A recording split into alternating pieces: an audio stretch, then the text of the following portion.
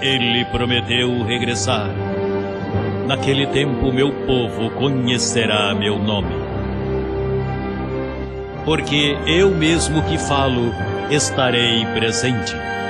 Diante de nossos olhos se cumpriu o escrito: os que olharam a ele não serão envergonhados. Logo veremos sua transformação. Aqui está Jesus Cristo, homem.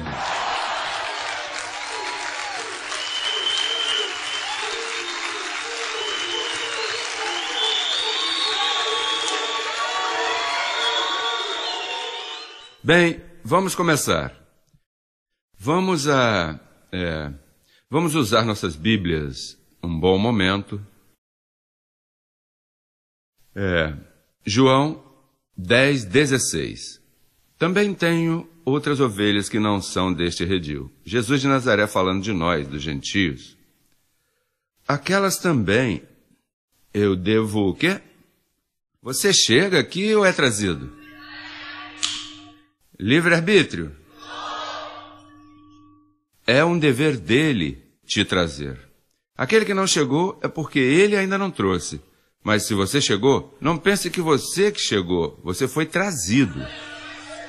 E mais, sabe como diz uma versão? A essas devo arrastar, porque às vezes você não quer vir.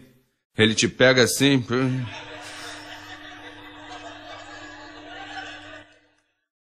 A estas devo arrastar, porque não querem vir. E ouvirão minha voz. Olha, essa voz, lembra? Essa voz. Ah, essa voz sempre esteve contigo. E te advertia: não faça isso, isso vai, vai se dar mal. Se fizer isso, vai acontecer isso. E sempre te avisando. Ouvirão minha voz e haverá muitos rebanhos e muitos pastores. Isso aí nunca se cumpriu. Sabe quando se cumpriu isso? Quando faz pouco eu disse o termo pastor desaparece. Porque me dei conta que há um só pastor. Imagina, se há muitos pastores, há diversidade de ensino. Você não está suposto a ensinar nada. Sabe que tem gente que, às vezes eu recebo correios que dizem: olha, depois que você acaba, o pastor aqui volta e repete tudo o que você disse, como se nós não tivéssemos entendido. E mais, já me disseram de alguns que eu levo 30 minutos e eles vão e levam mais 30 minutos. Ah, o que ele disse foi isso e aquilo. Acaso será que eu sou um burro que não entendi? Por que, que você tem que estar repetindo isso? Essa aí é a voz do Senhor. Você entende, olha, se você é um escolhido, tão logo se diz, né? Tão pronto se diz algo, você aí mesmo agarra. Verdade? Haverá um rebanho. Você sabe que crescendo em graça é um rebanho só? Por quê? Porque tem um só pastor. Ah, e todos falam o mesmo, cantam o mesmo, se expressam da mesma maneira, sentem o mesmo, um sentir, um mesmo parecer, um mesmo proceder, um mesmo ensino. Todos falam iguais, todos dizem abençoado, todos dizem abapai, todos dizem eu recebo, todos dizem estou completo. Não há diversidade. Nunca havia sucedido isso na face da terra. Foi por isso que Joel deu chaves, códigos secretos. Olha, para que se saiba quais são os dias do homem, haverá um povo como jamais houve sobre a face da terra. E alguém disse: Por quê? Terão duas cabeças, quatro orelhas e dez dedos em cada, mão, em cada uma das mãos? Não. É porque é um povo que fala o mesmo Entra aí nesse sistema apodrecido, religioso, evangélico, pentecostal, católico. Entra lá para ver como é que aquela gente fala. Eles não sabem nada, são mudos, estão órfãos, não têm pai. E todos diferem. A igreja da esquina fala uma coisa, o outro pastor outra, e eles acham que, que são pastores. Veja, você os vê com suas Bíblias assim e se metem a estudar todo sábado. E escrevem um sermão grandão assim, e esse sermão é diferente do sermão do pastor lá da esquina, e aquele outro prega. Você já notou isso? Liga a televisão e escute e escute durante meia hora. Não, esse disse isso, aquele disse aquilo, o outro disse. Porque estão em diversidade, a unidade do espírito não chegou lá. E por que aqui se entende isso? Porque essas são as evidências de que Jesus Cristo já chegou. Por isso é que falamos o mesmo.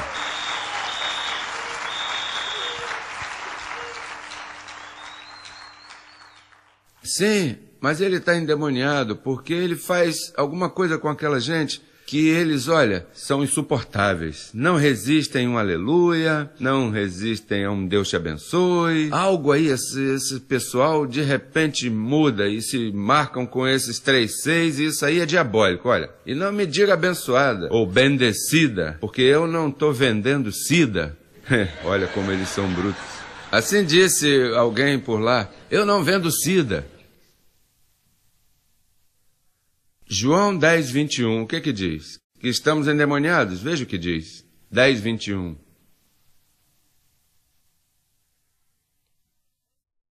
João 10, 21. Outros diziam: Estas palavras não são de endemoniado. E perguntou: Acaso o demônio pode abrir os olhos dos cegos? Há quantos aqui tiveram seus olhos abertos?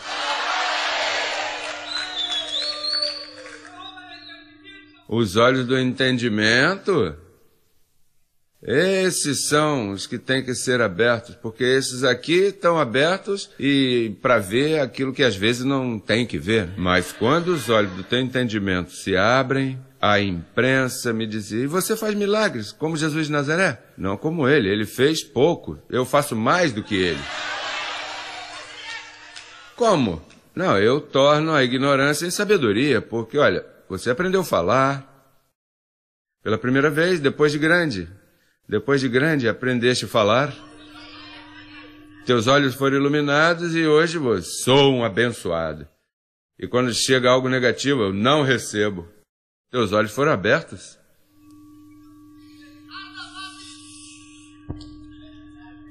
que linda essa palavra, é verdade?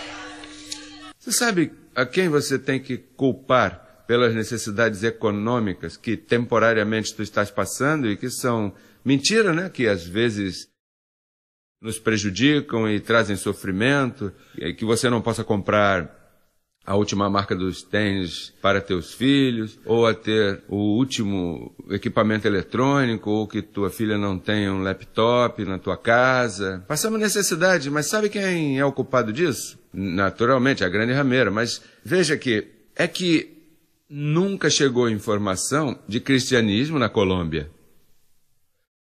Nunca chegou informação. Eu disse diante da imprensa que acontece é que vocês nunca ouviram o Evangelho. Vocês não são cristãos. Na Colômbia não há cristãos. Bom, vocês, né? Crescendo em graça, sim. Os primeiros cristãos chegaram à Colômbia quando eu vim visitar. Em que ano foi? 13 de novembro de quando? 1993.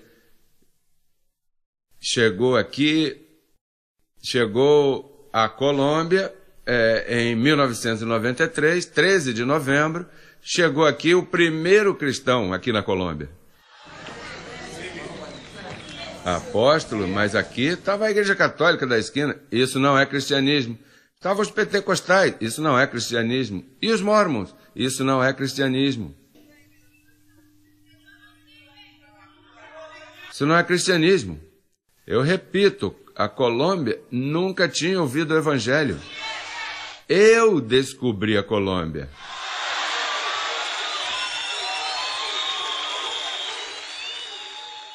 Agora, se o Papa me disser que quer falar comigo, eu não posso infectar, infectar meus ouvidos com um lixo religioso como ele. Com ele não tenho que me reunir para nada. Mas apóstolo, é um privilégio que o Papa dê audiência a você. O quê? Isso é uma maldição. Eu não tenho nada que falar com essa gente aí. Eles têm que escutar a verdade do Evangelho.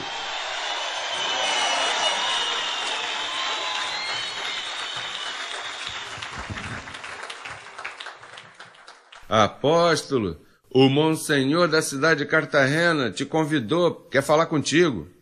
E o que que esse bruxo tem para falar comigo? Isso é muita honra para ele. Eu, Jesus Cristo, chegar o quê? A Imagina, hein? Vejamos Romanos.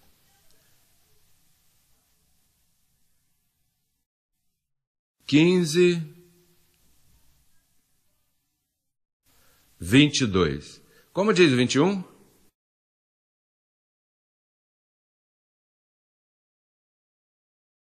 Se não, como está escrito, aqueles aos quais nunca, os gentios, né, falando deles logicamente, aqueles aos quais nunca foi anunciado acerca dele, verão, mas como o veriam?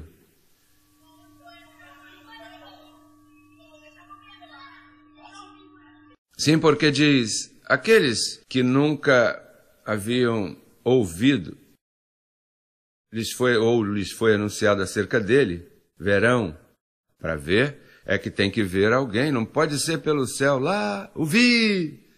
E os que nunca ouviram dele, o quê? Mas se Jesus Cristo já havia morrido, Jesus de Nazaré já havia morrido nesse tempo aí. Agora, aí é Paulo, que já está convertido, 50 anos depois. Então, está falando aos romanos e diz, olha, um dia ele virá, e quando ele vier, o verão, o verão, e os que nunca ouviram dele entenderão. Então, a pergunta é: por que sucede isso? Essa necessidade? Então, verso 22 explica: Por esta causa me vi impedido muitas vezes de ir até vós, falando da Espanha. Veja como diz o verso 24: Quando eu for à Espanha, Irei a vós, porque espero ver-lhes quando passar.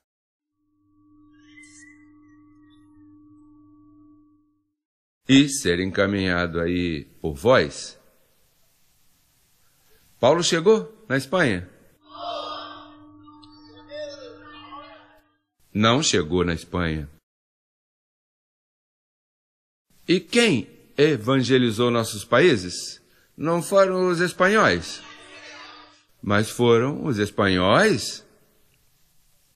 Então, se Paulo não chegou à Espanha e os espanhóis vieram a nossas terras pregar o que para nós? Cristianismo. Que tipo de cristianismo pregaram para nós?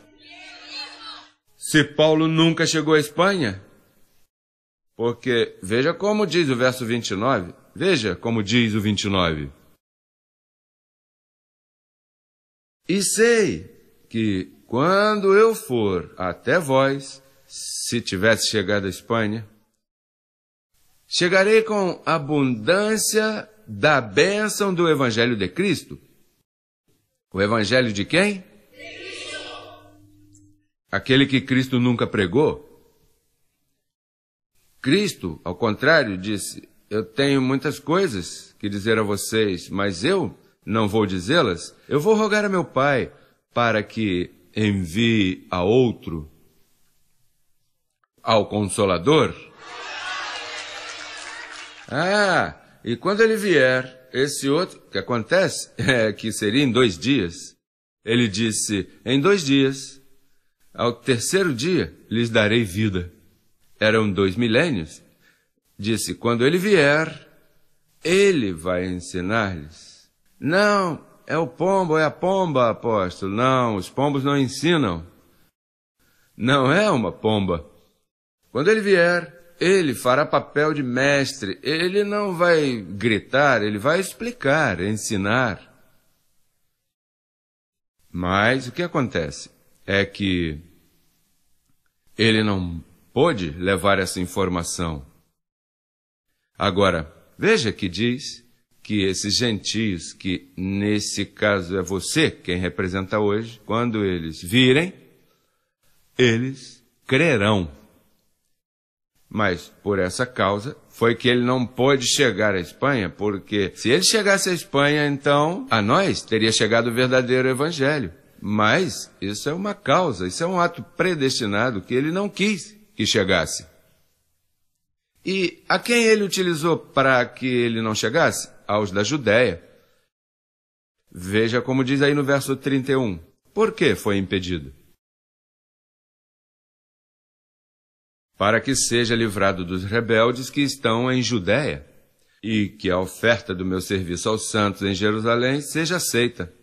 Os rebeldes de onde? Quem é que estava na Judéia? Quem era? Os judeus. E o que que Pedro era? Judeu?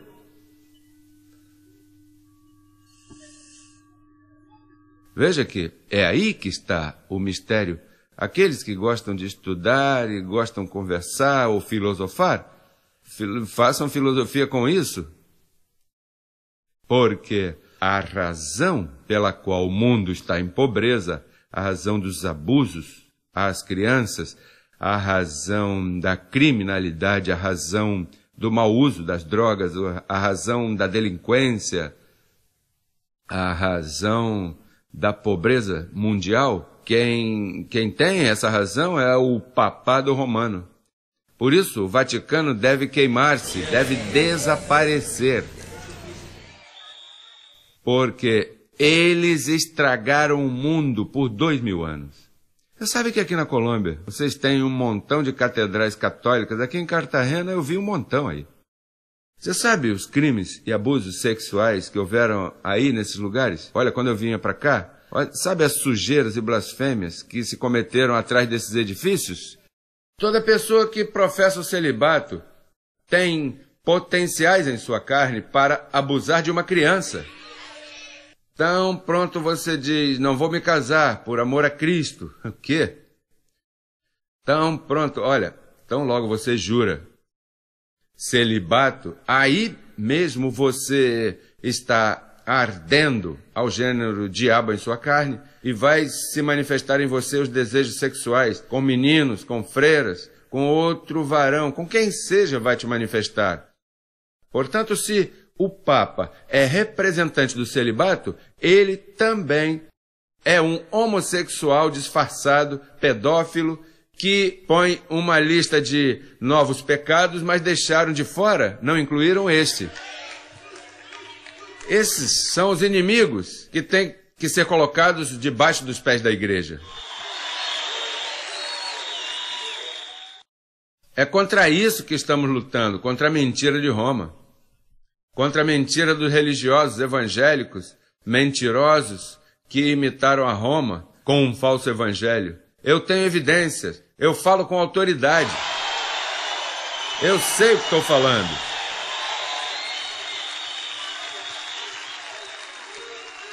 E se houver uma visita, olha aí, ó. Gálatas 2,7, para que você entenda o que está acontecendo, qual é o assunto, onde é que você foi enganado.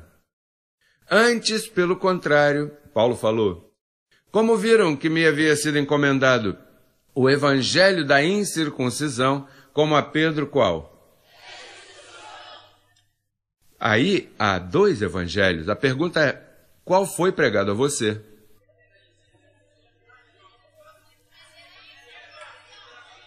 Qual? O da circuncisão, da circuncisão fede, tem dois mil anos de vencido. Você já viu um produto na tua casa que tenha os potes, né? Eles têm uma data? Se é você, de, entregam, né? De presente um potezinho desse de camarões enlatados, um pouquinho de caviar por dentro, encrustado, e diz aí, data de vencimento, ano 2002. Você vai comer esses camarões?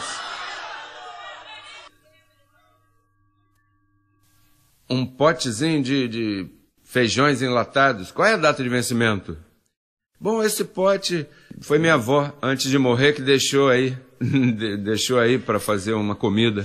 E quando você abrir esse pote, cheirar isso aí. Agora, quando a você é vendida uma informação que caducou quando Cristo morreu, dois mil anos de vencimento, e abrem para você esse pote de lixo religioso, e você não, não cheira isso, olha, que bom olfato você tem. Você se deu conta de que o que você tinha era lixo. O que te venderam foi lixo nesses templos protestantes, pentecostais.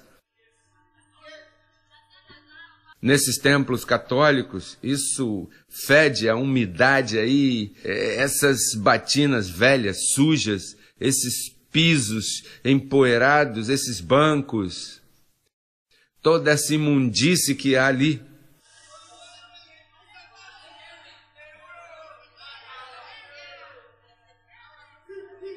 Sabe o que é isso? Você trabalhar e enviar teus filhos no melhor colégio da cidade. E onde eles estudam?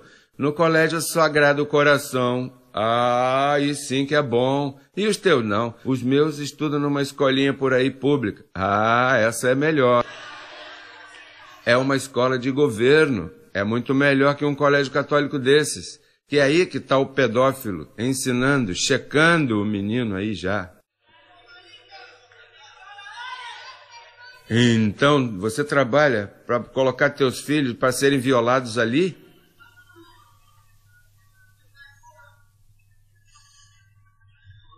Perigoso. Você não pode crer mais nisso. E tem que falar. Porque é tempo de falar. Esse agora é o tempo da reforma. Antes não, outros falaram, mas não foram nem escutados. Mas hoje, hoje é o momento da grande reforma. E a mim não poderão calar, porque me puseram umas calças compridas tremendas para isso. A mim não me calarão. A mim o que eles podem fazer é tentar me matar, se puderem. Mas como é que vão matar Jesus Cristo? Ao outro o mataram, né? Ele tinha que morrer, mas eu não. Meus anos não acabarão. Virá a transformação, Cartagena. Virá a recompensa do Evangelho, da incircuncisão.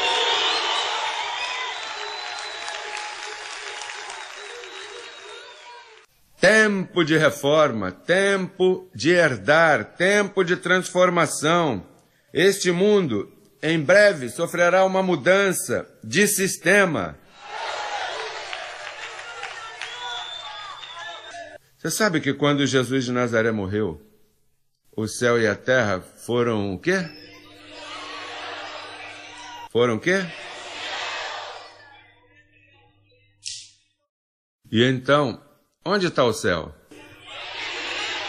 E onde você está? Assentado com quem? Aonde?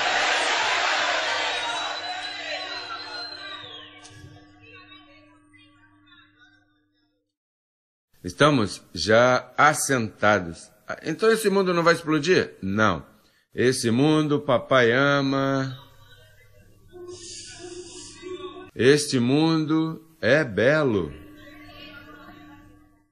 Papai o fez para ficar para sempre.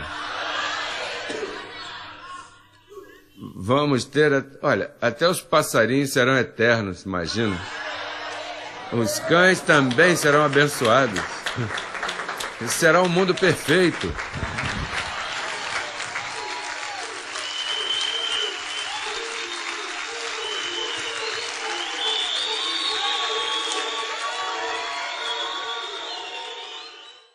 Eu tive revelações já com isso. Vamos a Colossenses, capítulo 1. E tem aí algo bem lindo do visível e do invisível. Diz: 1,15. Ele é a imagem do Deus invisível.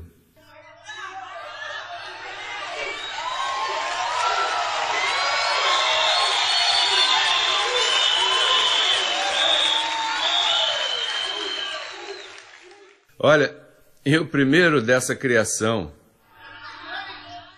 porque nele foram criadas todas as coisas. Quantas coisas? As que estão aonde? E onde? Um é a terra, outra coisa é o céu. Visíveis e o que? Umas são visíveis e outras são o que? E tu chamas uh, invisível como se fosse o quê?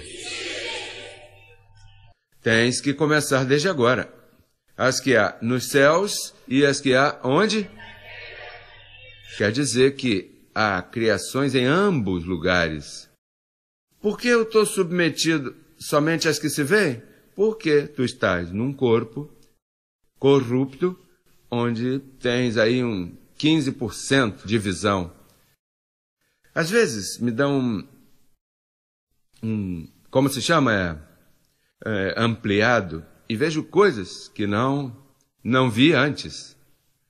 Por exemplo, no momento quando chegou a mente de Cristo a mim, pois ampliaram para mim, eu vi esses dois anjos robustos, assim, repugnantes como eles. Eu pensava que eles eram amiguinhos assim como nós somos aqui. Hello! Não assim firmes, com um propósito. Sempre que se manifesta um propósito que faz mudanças, câmbios à criação, aparecem esses anjos. Assim, diz nos livros históricos que apareceram dois anjos na tumba para anunciar, sempre há dois anjos. Em Sodoma e Gomorra, quantos haviam? Dois. Sempre que vem câmbios, vem acompanhados. E então, temos que levar em conta que estamos falando de duas criações. Mas eu não as vejo e eu não creio naquilo que eu não vejo. Eu sou como Tomé, que tenho que ver para crer. Mas veja que assim houve aquele caso lá no Velho Pacto, que estava lá o servo. De quem era o servo? Que foi ampliado a visão para que visse ah, de Eliseu. E então, Eliseu estava tranquilo, tranquilo. E então o servo dizia: Como tu pode estar tão tranquilo com tantos inimigos? Veja, o que é estar em revelação. Quando você está com uma pessoa que não tem revelação ao teu lado, isso é um tormento. Por isso é que Cristo, por isso é que Jesus disse: eu vim a dividir uma família, três contra dois e dois contra três. É, mas é que Cristo vem para unir, não dividir. Quando tu tens alguém ao teu lado que jorra água amarga por sua boca e você jorrando água doce, isso é um problema tremendo. E então Eliseu, para não expulsá-lo do seu lado, para não sair dele, disse: Senhor, dá-lhe uma ampliação à vista do meu servo, senão vou ter que sair dele. E então lhe tocou a vista o anjo, fez zum, e quando viu, é, carroças assim, mas milhares e milhares, um exército acampado. Então ele disse: Uau, que tremendo está isso aqui. Ah, agora porque você está vendo, né? Você acha que está tremendo? Olha, você viu isso agora, mas eu estou vendo isso aí faz tempo. Isso aqui está tudo bem. Que, aquele que se queixa disso é que sempre está vendo as coisas más. Você sempre está chamando as coisas más. Você tem que aprender a chamar as coisas que não são como se fossem, porque tua confissão está sendo provada.